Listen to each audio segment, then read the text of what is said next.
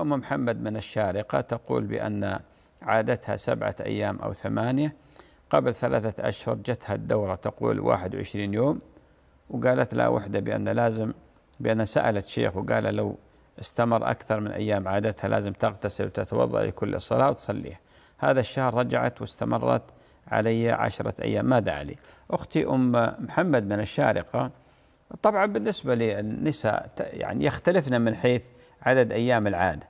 ستة سبعة ثمانية بعض النساء عشر أيام. تعرف بأن عادتها عشرة أيام. أي امرأة عادتها عشر أيام يجب أن تجلس العادة الأيام هذه كلها عن الصلاة. هذه عادتها.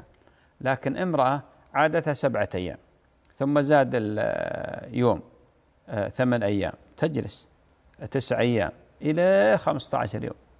إلى خمسة عشر يوم. ما دام أن ما رأت الطهر. ما رأت الطهر خلال هذه الفترة.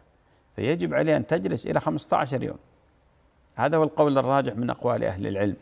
ولذلك بعد خمسة عشر يوم تغتسل وتصلي وتحسب ما زاد من الأيام بالنسبة للدم استحاضة. بارك الله فيك يا محمد.